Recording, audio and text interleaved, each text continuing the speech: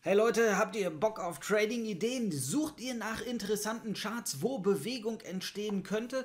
Da habe ich heute drei mitgebracht. Einmal die Airbus, die SAP und die Vonovia. Ich habe äh, mögliche Hebelzertifikate dafür rausgesucht für alle am äh, CFD-Trader, da bin ich gerade noch ähm, am Testen. Ich teste gerade einen CFD-Anbieter. Sonst war ich ja eher immer im äh, Future, im Daytrading unterwegs.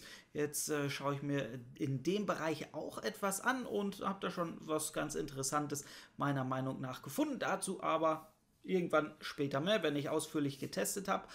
Und äh, jetzt würde ich sagen, abonniert meinen Kanal und Kamera aus. Glaskugel an.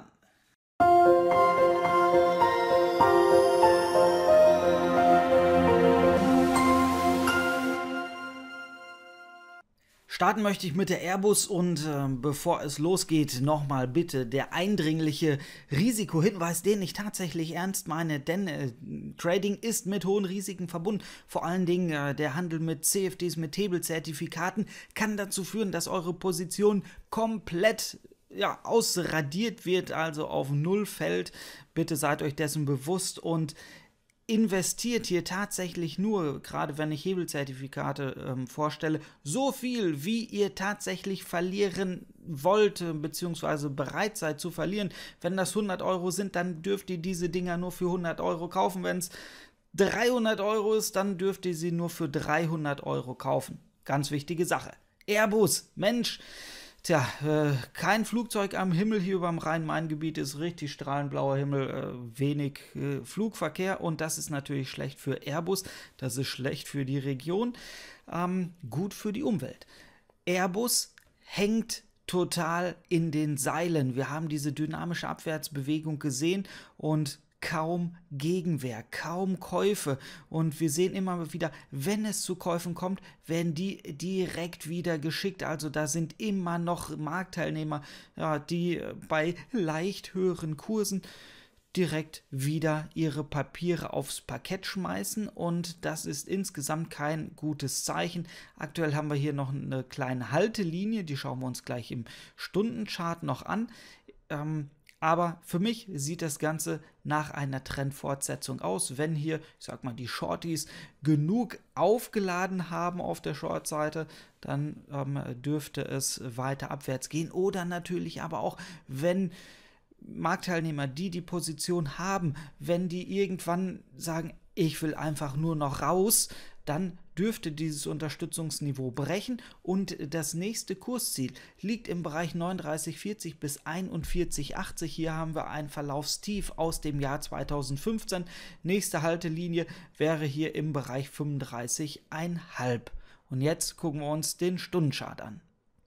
Und hier sehen wir jetzt äh, die Airbus und äh, da das Unterstützungsniveau 49,5 bis 50,75. Da hatten wir einmal ja das markante Corona-Tief, das erste Verlaufstief, Ausverkaufstief, äh, dann nächster Halt und erneut angetestet. Also dreimal die Unterstützung angelaufen. Und je öfter so eine Unterstützung angepickt, angeknabbert wird, desto instabiler wird sie und äh, desto wahrscheinlicher ist, dass die Unterstützung bricht. Und dann haben wir ja, das nächste Kursziel angesprochen, schon hier im Bereich 39,40 bis 41,80. Wer auf Nummer sicher gehen will, nimmt einen Take Profit, ich sag mal knapp drüber, vielleicht bei 42 oder 42,05.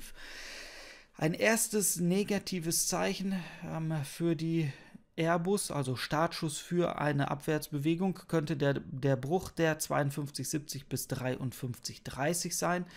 Ähm, ja, spätestens, wenn wir hier unter die 49,5 nach unten ausbrechen, sehe ich für die Airbus weiter schwarz und wie gesagt, das erste Ziel könnte zü zügig angelaufen werden. Ich habe zwei Hebelzertifikate mitgebracht.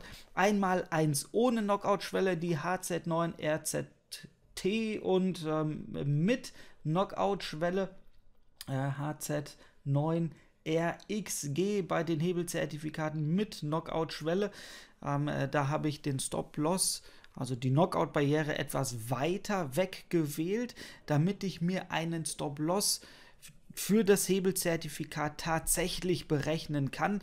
Vorteil ist ähm, gegenüber einem Hebelzertifikat mit Stop-Loss, wenn ich mich dabei nämlich ausstoppen lasse, nee, also bei Hebelzertifikaten ohne Stop-Loss, äh, bei den bei den Turbos, wenn ich mich dabei ausstoppen lasse, also Knockout-Schwelle dort setze, wo mein Stop-Loss ist, dann verliere ich immer den, ähm, äh, das mit eingerechnete Aufgeld.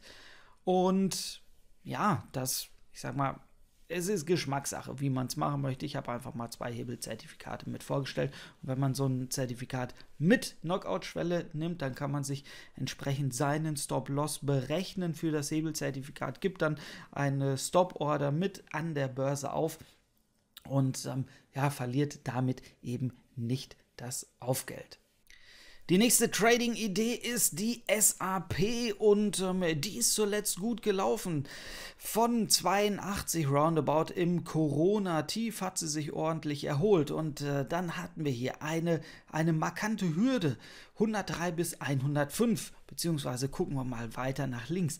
Diese Marke wurde in der Vergangenheit schon immer mal wieder angelaufen und hat für, ja, für Bewegungen in die eine und andere Richtung gesorgt. Hier, Widerstand, Rums nach unten gelaufen, dann Gap nach oben. Gap ist Unterstützungsniveau.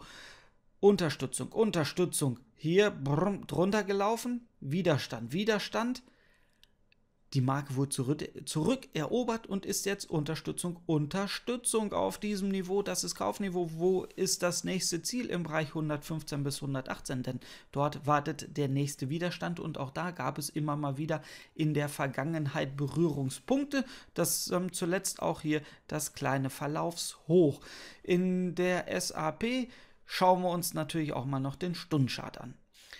Und hier sehen wir den Stundenchart. Ähm, da sehen wir so leicht fallende Verlaufstiefs am Unterstützungsniveau. Das ist Kaufniveau. In meinen Augen natürlich rein aus charttechnischer Sicht. Hier nochmal der Risikohinweis. Vergesst es nicht, wenn ihr Position eingeht. Das kann auch schief gehen. Denn natürlich kann die Unterstützung auch wieder unterschritten werden. Ich sag mal, bei Kursen unter 102 ja, trübt sich das Bild auf jeden Fall wieder ein.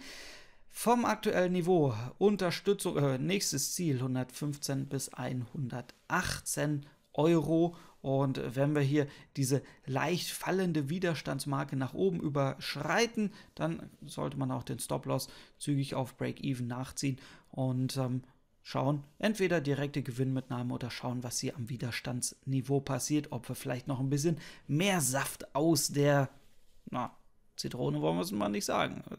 Nochmal einfach ein bisschen mehr Profit rausziehen können.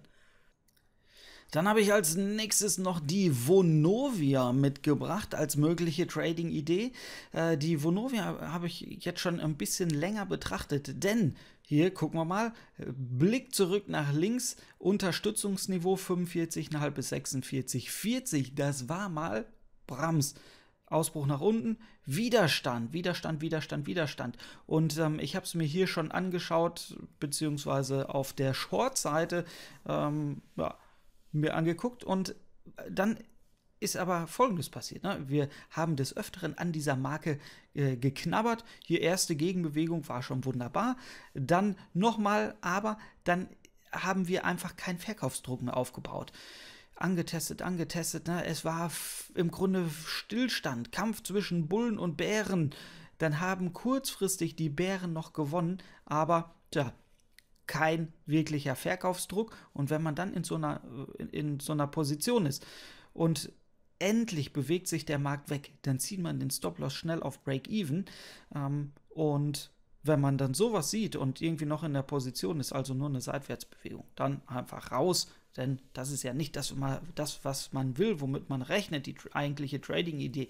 Die will ja eigentlich, zumindest bei mir, suche ich dann äh, Dynamik und wenn das nicht kommt, dann müssen wir aus der Position aussteigen. Alter Widerstand wird zur Unterstützung, nachdem wir das Niveau jetzt überschritten haben. Also Rücksetzer in diesem Bereich 45,5 bis 46,40. Interessantes Einstiegsniveau. Und wenn wir uns dann von dem nach oben bewegen, dann müssen wir hier im Bereich 48 bis 48,40 ein bisschen aufpassen. Denn hier haben wir auch so ein Niveau, was in der Vergangenheit immer mal wieder angelaufen wurde.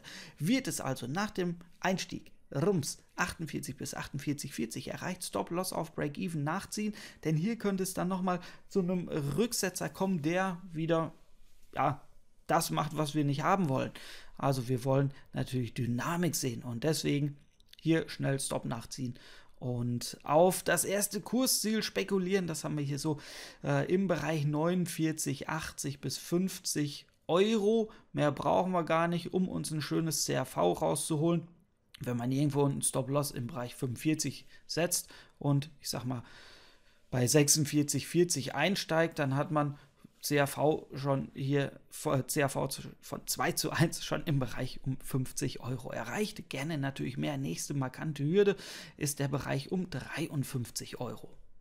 Habt ihr vielleicht interessante Charts, die ich hier als äh, mögliche Trading-Ideen vorstellen kann? Schreibt es mir in die Kommentare. Wenn euch das Video gefallen hat, natürlich Daumen hoch, abonniert meinen Kanal, helft mir zu wachsen, äh, damit das Ganze auch ein bisschen Spaß macht. Und äh, damit würde ich sagen, wir sehen uns im nächsten Video.